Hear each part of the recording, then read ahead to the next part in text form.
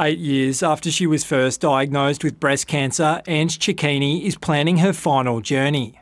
When I found out about the tumour in my head, that was it then. I just realised that this is probably only a few months longer for me. She's now actively planning her death, organising her funeral, and talking to her doctor about accessing Tasmania's new voluntary assisted dying laws. I want to have a dignified exit with people that I love around me, and I think that every person on this earth is entitled to that.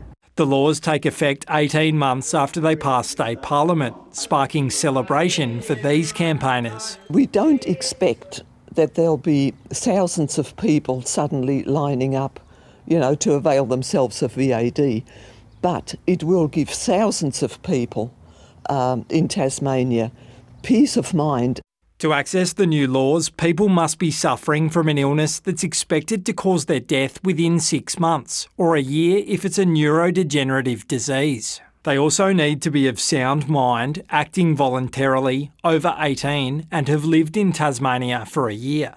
It also needs two doctors to sign off on a request before the Commission gives it the green light. Our legislation has double checked and double ticked everything to ensure that people are never not going to be coerced, but also people are guided through who wish to access it, and people who are not suitable will be supported in down other avenues. The Commission says it's made an educated guess about how much lethal medication it will need to order when the scheme starts, factoring in Tasmania's older, sicker population.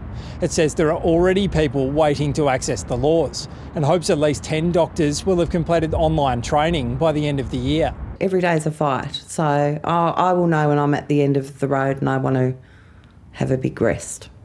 Adam Langenberg, ABC News.